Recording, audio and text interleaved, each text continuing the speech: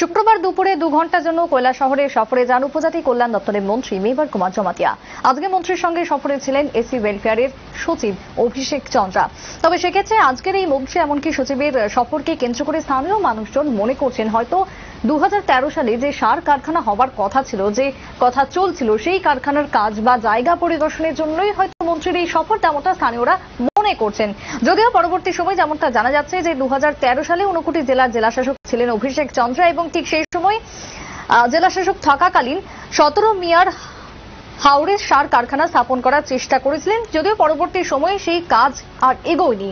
এবং যদি সার কারখানা স্থাপন করা হতো, তাহলে মহকুমার অনেক বেকার যুবকরা চাকরি পেতেন সেখান থেকে, এমনকি অনেক সুবিধা হতো এই সার কারখানা স্থাপনের পর। এমনটাই মনে করা হয়েছিল স্থানীয়দের মধ্যে, তবে সেক্ষেত্রে সেই কাজটা কিন্তু এখনও পর্যন্ত এগোয়নি। এবং আজকে আচমকাই মন্ত্রীর এই সফরকে কেন্দ্র করে স্থানীয়দের সূত্রে একটু হলেও আশার আলো জেগেছে। যদিও আজকে মন্ত্রী মেবার কুমার জমাতিয়া, তিনি মত বিনিময় করেন স্থানীয়দের সঙ্গে দীর্ঘক্ষণ পরিদর্শনের পর সরেজমিনে পায়ে হেঁটে পরিদর্শনের পর স্থানীয়দের সঙ্গে কথাবার্তা বলার সময় তিনি যেমনটা তুলে ধরেছেন যে সংস্কার, সতেরো মিয়া হাওর সংস্কার সাধন করে মৎস্য উৎপাদন বৃদ্ধি সহ এলাকার কর্মসংস্থানের জন্য প্রয়োজনীয় ব্যবস্থা গ্রহণ করা হবে সেই আশ্বাসই আজকে দিয়েছেন উপজাতি কল্যাণ মন্ত্রী মেবার কুমার জমাতিয়া।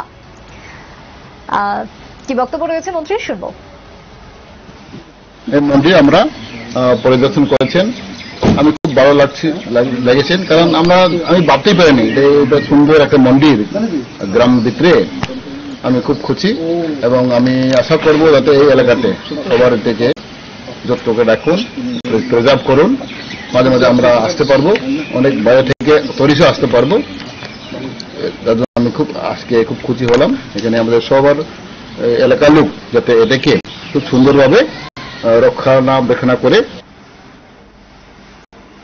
আপনারা শুনলেন মন্ত্রীর বক্তব্য এবং সতেরো মিয়ার হাওড় পরিদর্শন শেষে মন্ত্রী এবং সচিব চলে যান বিলাসপুরে গ্রাম পঞ্চায়েতের অধীন প্যাচাডাহরে যেখানে অবস্থিত ঊনকোটি শৃঙ্গের সারদা পীঠম মন্দির, সেটা পরিদর্শন করেন।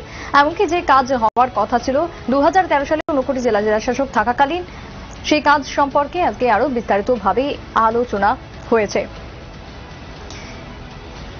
যদিও মানুষ এই আশ্বাস পেয়ে মন্ত্রীর কাছ থেকে অনেকটাই স্বস্তি এবং যেহেতু কর্মসংস্থানের জন্য মন্ত্রী ভাবছেন, চিন্তা করছেন এবং তার জন্যই আজকের এই পরিদর্শন তেমনটা জানানোর পর স্থানীয় সাধারণ যথেষ্টই আশ্বস্ত হয়েছেন মন্ত্রীর এই সফরের পর, যেমনটা ইতিমধ্যে আমরা দেখতে পাচ্ছি কৈলা শহর থেকে।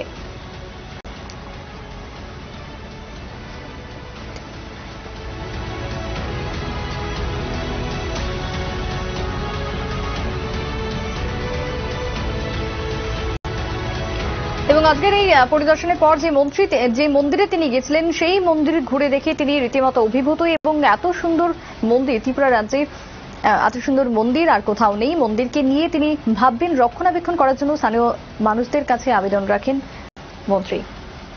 এখনকার মতো সংবাদ এই পর্যন্তই। পরবর্তী নিউজ এবং আপডেটস দেখার জন্য চোখ রাখুন। শুধুমাত্র নিউজ ফ্যানগাড়ি পর্দায় নমস্কার।